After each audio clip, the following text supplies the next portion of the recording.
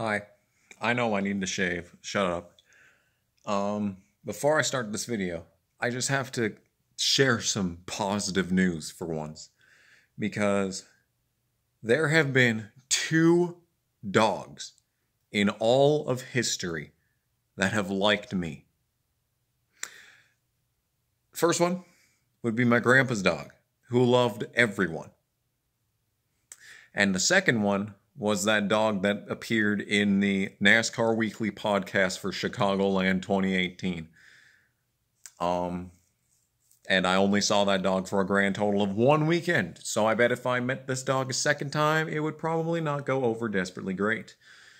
But we can add a third to the list because my assistant manager has this adorable, tiny little thing. And I tell you what, it, it, it digs its fucking claws directly into my you know pants. Surprised I haven't gotten a hole in my pants, but like I sat down and that little fucker just jumped right into my lap and sat there and just accepted sitting there for a good 20 minutes. And I'm just like, what? This dog likes me? That's not legal. That's not supposed to happen. So I just thought I'd share some positive news with everyone for once.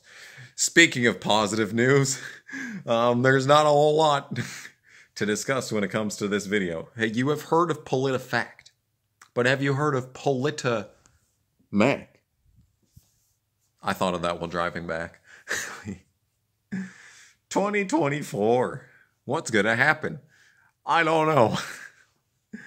Everyone that I watch is saying, you know, like I see everyone saying it right now. It's it's gonna be a red wave. Uh, everyone that I watch is like, it's gonna be a historic landslide. And then like the people on the left that I follow are like, guys, we're fucked. We're totally fucked. And I'm just sitting back here like, are you sure? because after 2020, I don't doubt anything anymore.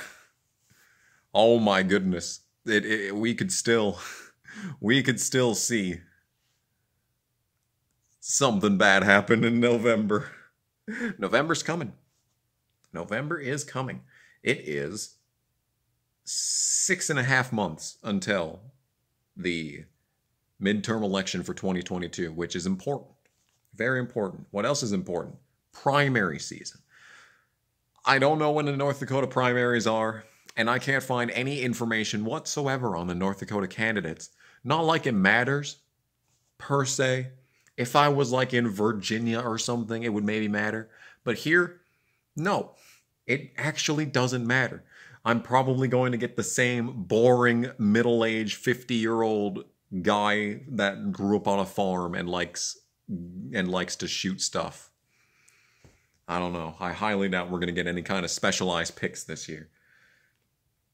No, I'm not hoping. I'm not expecting anything anyway. There's a guy that fucking likes racing. There's a guy from here in this town that is like a, a huge supporter of our racetrack who's running for office. I don't even know what his policies are.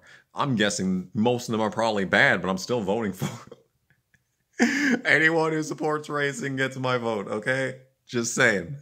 Just saying. I am a single issue voter. And my single issue is oh my god, the economy is so fucked. They took out so much money so much money in federal taxes not even just federal taxes state taxes. They took off over a hundred dollars from my last paycheck for state taxes. They took off $250 for federal taxes on my last paycheck. What the fuck are you spending it on? Joe what are you spending it on? Oh yeah fucking sending nukes to Ukraine. Thanks. That's what I want my tax money to go to. To fighting a war that we shouldn't even be involved in and doesn't concern us in any capacity. I'm so glad that my fucking income is directly supporting this, not by choice. That's cool. So, what's going to happen in 2024? Well, I don't know, dude, because it's it's a good time to start thinking about this now because when the um, election rolls around and like the exact opposite happens, we can uh, we can look back and cry because I'm gonna make some predictions that I'm probably gonna regret in a second. so we all know Trump's running. And God, dude, there there was no way he should have lost in 2020. And if I actually gave my true opinion on the 2020 election, my channel would no longer exist as of the upload of this video. So we're not even going to go there. But he, by all metrics, there is no way that he should have lost in 2020. And yet, here we are. Why do you think I'm so pessimistic about the uh, chances for 2024? Because by all metrics, more metrics than last time, even. It should be like a 49 state sl- landslide. All right? But it probably won't be. I mean, I, I, guarantee you it won't be because that kind of that kind of era of politics has ended. Everything is very divisive. It is very urban versus rural, and it's only getting worse. City issues completely cities completely disregard rural issues and that's always been a thing. That's been a thing for more than just a couple of years. But rural communities are starting to say fuck you to the cities which i mean i have. I've done the same but that's that's equally as bad.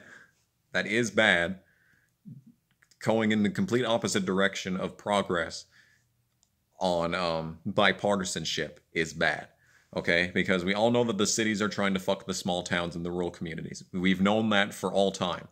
We do not need to retaliate, okay? We do not need to elect um, Jim Bob Thornton, who lives in Cactus Valley, Arizona, and he spends his entire time on his uh, 50 acre pig farm and he literally he literally doesn't even have a house. He just he just sleeps with the pigs. They just hang out, you know. We can't elect him and be like, and he can't go into like a board meeting like, all right, y'all, we need to do something about the cities taking all our water. It's like we should turn we should turn off all the reservoirs to the city, and then the entire boardroom cheers, and then Arizona state economy collapses because Phoenix dies. You see, you see what I'm trying to say is that you cannot have it one way. You cannot have it one way. That is not how societies function. That is not how America got where we are today. The Senate being two people from each state and the House being um, proportional to population is a good thing. It's a good thing. This was done on purpose and it was a good thing. okay? I haven't even talked about the purpose of this video. This perp the purpose of this video was for me to predict who the fucking people who were gonna be on the ticket were. And by all metrics right now, by every estimation, everyone's saying it at this point. We all know it. Trump will be the Republican candidate. Okay? The only real question at this time, who will be his VP? Because we all know it's not going to be Mike Pence. Let's go raise the roof on that one. Glad to get that uh, electroshock gay conversion therapy pile of rat ass shit out of the vice president sip, vice president C. I would love to see him try and go up against Trump as candidate for president. Oh, oh baby, that would be pure comedy. I hope it happens, but um, yeah. Um, who would be his VP? Because there is there any real candidate that jumps out at us at this time? I can't think of any. I really can't think of any. The only one I can think of would be Ron DeSantis, who everyone says that, you know, a Trump DeSantis ticket wouldn't be the greatest thing in the world. I mean, I think it would be pretty good. I would a hundred I would vote for that a hundred times out of a hundred. and all my dead relatives would too. but um it's like, yeah, but the thing is, it's just like, is that what we need at this time? Is Ron DeSantis keeping, you know, the Florida, the, the state of Florida, like moving, like existing as a whole? Is that worth sacrificing just for him to be a vice president? Now, I'm what I'm really interested is in my main girl what's Tulsi going to do? Because Tulsi is a real wild card. Okay. Her Twitter feed has been nonstop gold, 100% correct takes ever since like she threw her hat into the ring for 2020. She has had a correct take every single time that you open up, you get a tweet notification for Tulsi, you know you're going to see some fire shit, is what I'm trying to say. And what I was thinking is, okay, Trump Gabbard 2024, the bipartisan ticket that the world needs. Because she is a Democrat. You see her when she goes on Fox, she still has a D next to her name. Could we see her not even flip Republican, but just like that she would probably have to do that to get the vice presidency, which is why I was thinking, what if Trump grabs Tulsi to be Secretary of State? Because I think that's the perfect role for Tulsi, just to get her feet wet into an administration and potentially move into a P or VP slot for 2028 because Tulsi is still very young and very much not suicidal, as we have established. And every single take of hers is 100% perfect from start to finish. Just go through her Twitter and you will see nothing but good takes. no misses. She don't miss. All right? And that's why I think that and like and like everything that she posts is pretty liberal is like completely like liberal in nature but if, if you read it in today's context it looks far right which is stupid but that's just where we are in life and that's why i believe that she could be the bipartisan pick to unite the nation you know you're going to see your disaffected liberals are going to look at that and see, you know, this is not going to be first term Trump because I would happily vote for Trump tomorrow. However, he was still a bit of a failure, okay? The economy was was perfect in 2019. I bought so many things in 2019 without fear of anything anything going wrong. I was so I bought my laptop in 2019. I was thinking of getting that that um, that uh, Taurus in Wishik in 2019, but just student loans were just too much to justify taking out yet another loan. But um, and um, yeah. But you see, Trump comes with this fair share of problems because he brought in a bunch of neoconservative losers who just bloated, you know, many things. He made some poor decisions militarily. I still don't think that the strikes in Syria and the strikes against Soleimani or whatever his name is, the Iranian dude, I still am opposed to those. But he did broker the peace deal with the Taliban. He went to North Korea. He shook hands with um, with uh, Kim, with all Kim, dear leader. We love Kim. Kim's Kim's cool. Okay, you know North Korea is an absolute authoritarian hellhole, but you gotta appreciate Kim. All right, man's cute. You have to admit. You have to admit he's got that. He's got that. You know, he's got that round, you know, face that you just want to squeeze his cheek. You know, I mean that's just me. That's just me. But he fucking did that, and but um and but you see he didn't he did bad things too. He didn't pardon Assange. He didn't pardon Snowden. Now Assange is gonna fucking get extradited to the U.S. and die in a fucking Guantanamo Bay prison cell probably, because that's freedom of fucking speech right there. That's that's journalistic ethics right there. That's yeah. We're just uh. Hmm. Hmm. Um what else did Trump do that wasn't good? Um, he was fucking around with that uh, uh, with repealing Obamacare or whatever, which you know I'm not entirely opposed to, but you know it was still poor optics and the plan that he had as a replace. There wasn't even a plan to replace it. He said he kept seeing repeal and replace, repeal and replace, repeal and replace, and he had like nothing to replace it with. And it was like, yeah, no, I would prefer to vote for Ron, San- Ron this time around. DeSantis 2024 would be 100% okay with me. But the thing is, is that optically, Trump has everything to lose at this point. Okay? That, like, it could not, I mean, he has everything to gain at this point. Sorry. Um, because the economy is such a catastrophic disaster right now. Like, I don't know if I've been saying it on these thinking chair videos, but like, holy shit, dude, we're so fucked. Oh, we are categorically, in every facet of the word, we are fucked when it comes to the economy. November can't come fast enough, dude. Oh, oh man, we got to make it another five and a half months. That's a long time. And the economy is so hopelessly fucked right now. Oh, it's bad. We are in bad shape.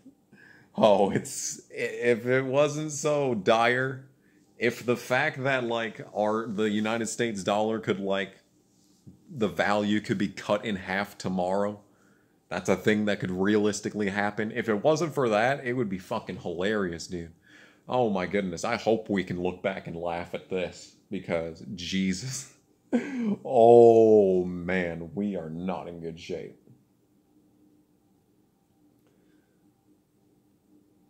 So then you got the question of okay, so the Democrats are completely and hopelessly fucked unless something stupid happens, which I'm not counting out. So when it comes to 2024, who's going to be the Dem candidate? And I was thinking about this at work, dude. I was just thinking about this. I was going to make this video and I was thinking about it and I'm like, okay, so there's no way that if Joe Biden runs for re-election, I don't even think he wins the primary. I don't even think he wins a state. I don't think he even wins a state if he tries to run again. So who does that leave? All right, well, we got Cop Kamala Harris, uh, police VP,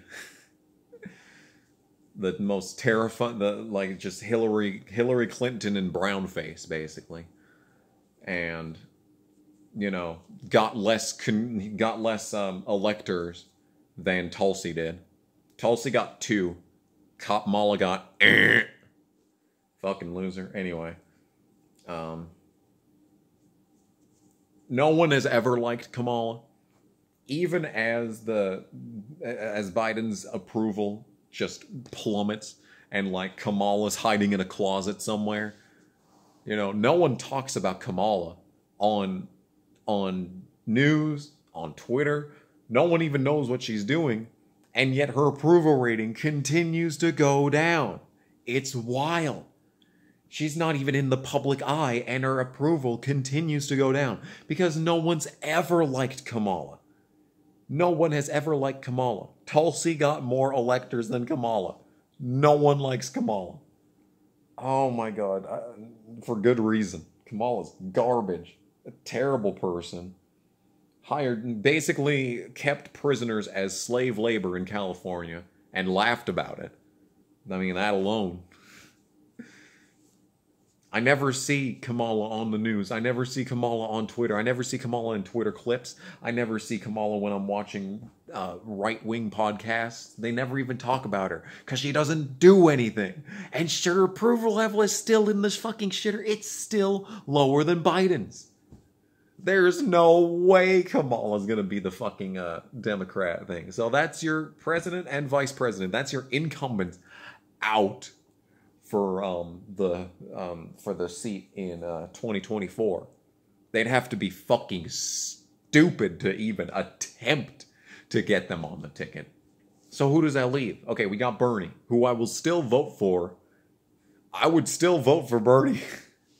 After everything that's happened, I would still vote for Bernie because the establishment hates him.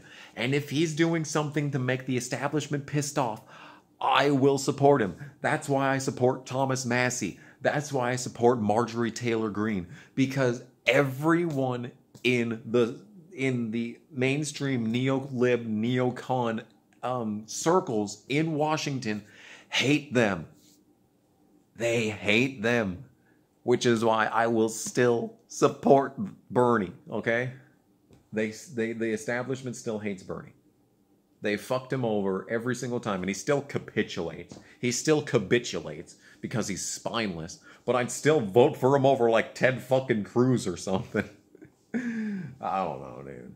I don't know, dude. Uh, what if 2016 Bernie had won? I still think about this. What if he hadn't gotten cheated out of the primaries deliberately by the DNC? What if that hadn't happened? I don't know, man. I don't know.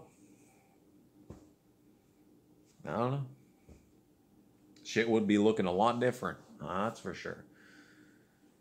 So who?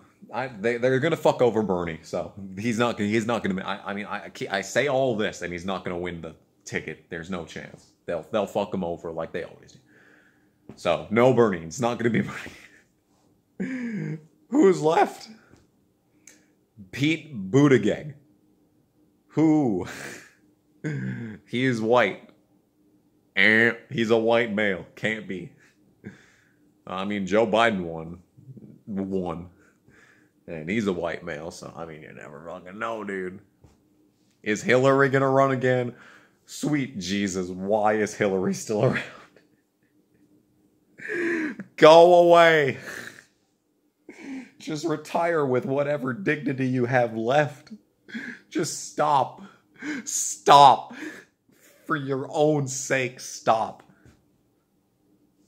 If it was Hillary versus Trump again, it might actually be a 49 state landslide. For your own sake, Hillary, stop. I want Trump to win. And if Trump went against Hillary, he'd win automatically. But but for your own sake, Hillary, just give it up. Do you want to know my honest opinion? I think 2024 it's going to be Michelle Obama. Michelle Obama is the single solitary person on the Dem ticket that could win in 2024. I believe that a Michelle Obama ticket could win. Who would be vice president? That's a very good question. I think it would have to be just some generic random dude. Not fucking Tim Kaine. Don't do Tim Kaine again. I was thinking, I think Mayor Pete, Beto O'Rourke, I don't know, dude. But Michelle Obama as on the ticket. Now, I don't know how Michelle would do in the debates. I don't know how she'd do in speeches, in rallies. But optically, Michelle Obama is the one person that can beat the Republicans in 2024. And I know that there's some people in the audience that are going to be laughing at me when I suggest that the Republicans could lose in 2024. They can. They can absolutely snatch defeat from the jaws of victory. It can happen. Do not underestimate the machine. Okay? However, that being said, Michelle Obama, at this point in time, is the one person that can beat the Republicans. And I see it. I think it's very, very 98% chance that it's Michelle Obama on the ticket. Now, as for the Republicans, 98% certain it's going to be Trump. The only real question at this point who will be the vice president picks? I don't know. I don't know. That's a very good question. Gavin Newsom? I don't know. Gavin Newsom? Obama Newsom. It's possible. But I, I'm still trying to think on the Republican side. Who would Trump pick as a running mate? There's no one that there's no one on either side that really screams out right now. And that's okay because it's 2022. We still got two whole years and change before this election even takes place. What, what honestly matters right now is just the midterm elections this year. Um, that's really the only thing that matters at this moment in time. Because while I think that Michelle Obama and Trump are the locks for the presidency on the ticket for 2024, we still have a lot of time between now and then. There's a lot of time between now and then. So, what's going to happen in the midterms? Well, there's been a lot of defortification in a lot of key swing states. I believe Pennsylvania has completely undone their voter registration laws and like mail in voting laws. So Pennsylvania should be a pretty safe red state. Um, I haven't heard a lot of updates on Michigan. Haven't heard a lot of updates in Arizona. But like those key swing states. Florida, I believe there's no chance that it'll be a swing state. I think it's going to be close in Florida because um, DeSantis barely won um, his election, and I don't think that was I I don't think that I think that was before 2020, but still, it was close, and right now is an incredibly divisive moment in time in politics because the um, the polls may say that it's definitely in favor of the Republicans right now. One, that can change on a dime, and two, polls have meant jack shit ever since 2016. They have been completely wrong every time. So, why do people even look at the polls? they mean basically nothing. So, yeah. I think that the Republicans are going to safely win the, the midterms. I think that they're going to take the House, they're going to take the Senate, you know, they're going to have majorities in both branches. However, what that number is, is the real question that we're at. Could we see a tie? I think the Senate is very close right now, but as far as the House is concerned, could we see a tie ish there? I think the Senate is going to be very safe red I believe that the Republicans are going to take the Senate effortlessly. When it comes to the House, that's that's a bit of a bigger question. As for the numbers, we could probably we're probably it, it we're still pretty far out, but like if nothing changes and the way the economy is going, it's to get worse before it gets any better. so I'm to say, eh, on the whole, if things change. But I mean, fucking anything is possible. I don't think any predictions at this point even matter. I've made it. I've made this 28 minute long video, and probably nothing that I've said thus far even matters. But still, I can pretty confidently say that I believe we'll see 60 40 in the Senate and we'll probably see the Republicans take a slim, maybe 15, 10 to 15 seat lead in the House this November. And I'm guessing we'll have a few runoff elections that will be politicized to no end. And YouTube will have the ticker beneath the video that says, Oh, the voters are still being counted and no decision has been made at this time. We're gonna see that shit again. And we'll probably see the do do do do do do do do boop do do do do.